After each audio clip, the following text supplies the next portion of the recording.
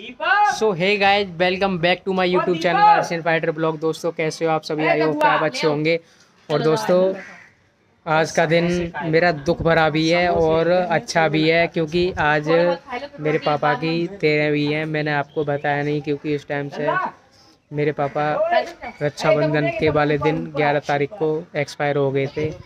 शाम को आठ बज के पैंतालीस मिनट पर तो दोस्तों आज 24 तारीख है 24 अगस्त है। तो मेरे पापा की आज वो तेरह वगैरह हो रही हैं तो और मैं दिखाता हूँ कि मेरे यहाँ पर कैसा प्रोग्राम होता है, कैसा नहीं होता है। सबके अपने अपने हिसाब से जैसा जिसका डिस्ट्रिक्ट पड़ता है, जैसा जिसका राज्य पड़ता है तो अपने अपने हिसाब से सब अपने अपने पूर्वजों की तेरह वगैरह करते हैं या अरस्टी करते हैं इंग्लिश में बोले तो अरेस्टी करते हैं। तो दिखाता हूँ, फिर मैं तुम्हें कि और ये वीडियो मैं इस वजह से नहीं बना रहा हूँ क्योंकि क्या कोई बुरा माने लेकिन ये इस वीडियो इस वजह से बना रहा हूँ कि ये चीज़ मेरी यादगार रहे और मैं आगे को ये देख सकूँ। तो और मैं एक बार तुमको मिला देता हूँ मैं अपने। ये मेरा परम मित्र विनोद कुमार, जो मेरी जान से भी बढ़ के और ये एक हमारा दोस्त है, पुष्पेंद्र कुमार और पहलवान। कुछ फालतू बोलूँगा। और ये मेरी ये मेरी बुआ की लड़की है, ये थोड़ी शर्मा रही है। तो और चलो तो फिर दिखाता हूँ मैं तुम्हारे क्या क्या मेरे यहाँ पर क्या हो रहा है, क्या नहीं हो रहा है। पंडित जी आ दोस्तों, ये है ये है मेरी बुआ की लड़की, काजल। और एक और है, कविता।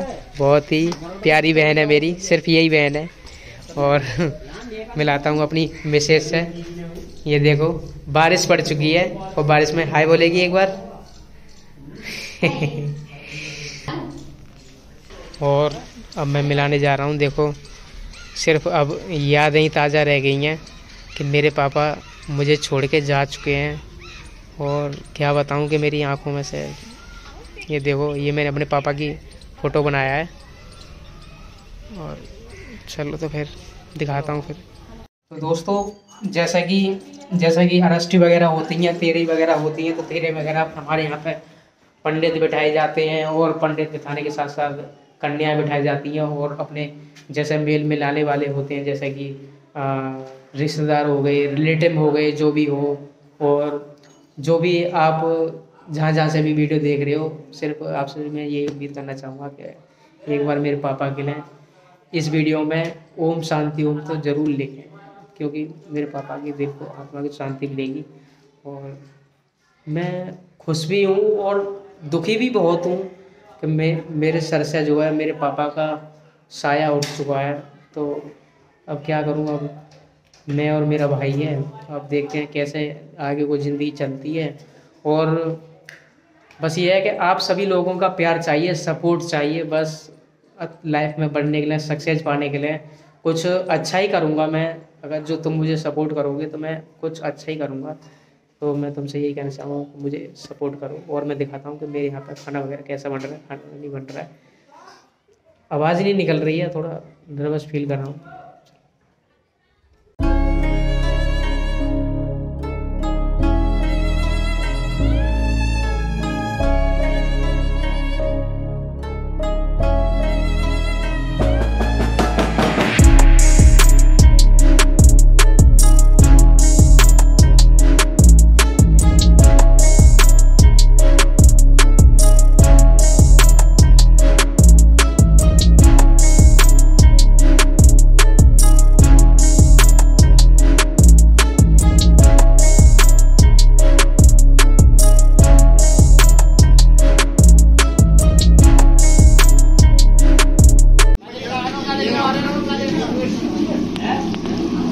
ये देखो, ये चल रहा है मेरे घर में प्रोग्राम ये मेरे बड़े भाई हैं, पूड़ियाँ वगैरह सीखेंगी।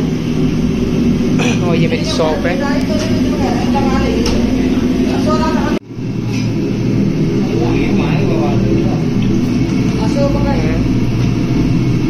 ये सारा सामान जो है प्रसाद के लिए है, और प्रसाद तैयार हो रहा है, और वितरण करेंगे। जो हमारे रिलेटिव आएँगे, उनको खाना वगैरह खिलाएँगे, और ये देखिए, मैं तुम्हें दिखाता हूँ कि मेरे यहाँ पर क्या क्या बना है।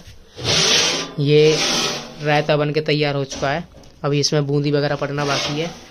और गाँव का देसी तरीके से देसी रायता। और इसके साथ ये हमारा दही है। दही भी बन के तैयार हो चुका है। और इसमें जो है काशी फल, चक्ति की सब्ज़ी है। तरीके से। बहुत अच्छी स्वाद आ रहा है और मतलब खुशबू अच्छी आ रही है। और ये है हमारी आलू की सब्ज़ी। और इसमें अभी हरी हरा धनिया बनना बाकी है।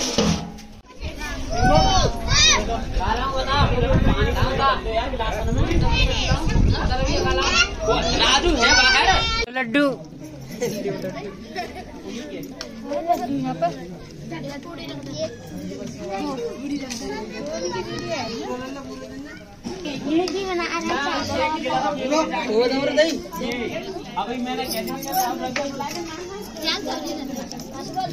देखो जब तो चेहरा साफ़ आए ना रहो लेकिन अब मैं अपनी चाची को चेहरा अच्छी तरह दिखाऊँगा।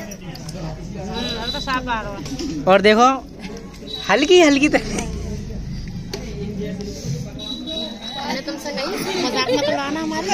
ना? ये हमारी प्यारी भाभी जी।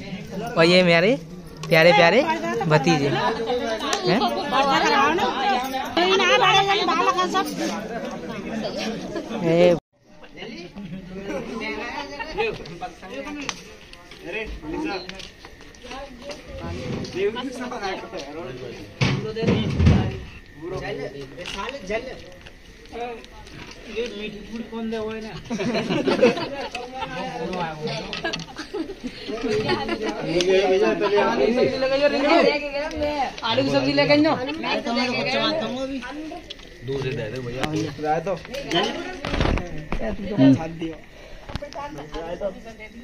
तो फाइनली दोस्तों हमारा और हमारे पापा जी के अरस्टियों का पूरा प्रसाद वितरण हो चुका है। और दावत खाली खाली पेट भर खाली दवा किसने किसने दो बार खाई है? और के तीन चार बार खाओगे पेट के हिसाब से देखो। मैंने तो भैया भैया इतना दिखाओ। भैया दिखाओ।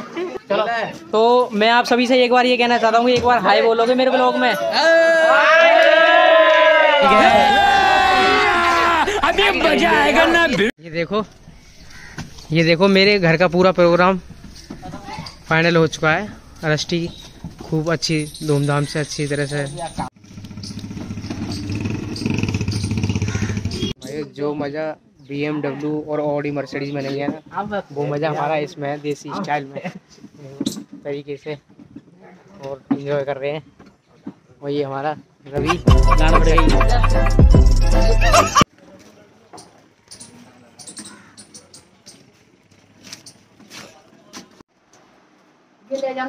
छोटी छोटी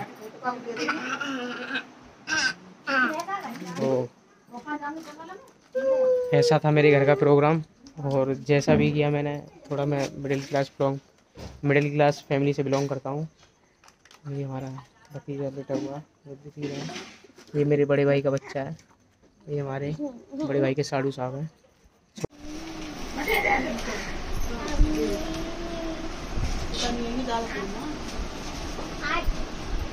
तो मेरे प्रिय दोस्तों, ऐसा था मेरे यहाँ का प्रोग्राम और वो ये कि सबके अपने अपने यहाँ के रीति रिवाज होते हैं। तो मैंने अपने पापा की अरेस्टी वगैरह कर ली है शुद्धि करा दी है। और अब गंगा नहाना बाकी रह गया है क्योंकि गंगा नहाना ज़रूरी होता है।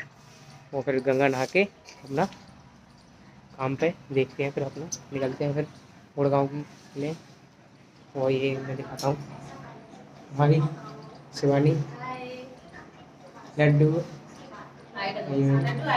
मिसेस देखो छोटी सी गुड़िया कितनी क्यूट है। तो आई होप कि तुम्हें ये वीडियो बहुत पसंद आई होगी तो फिर ऐसे भी आगे नेक्स्ट ब्लॉग में तो एक एक से एक बेहतरीन ब्लॉग लेके आता रहूँगा। और जिसे तुम देखने के लिए बहुत ज़्यादा उतावले हो गए कि हाँ क्या कितना बढ़िया वो है ये ब्लॉग बन लेके आ रहा है बंदा। तो कुछ चीज़ें ऐसी दिखाऊँगा तुम्हें कि तुम देखते रह जाओगे कि हाँ बहुत अच्छे तरीके से। तो फिर मिलते हैं फिर नेक्स्ट ब्लॉग में। तब के लिए टेक एंड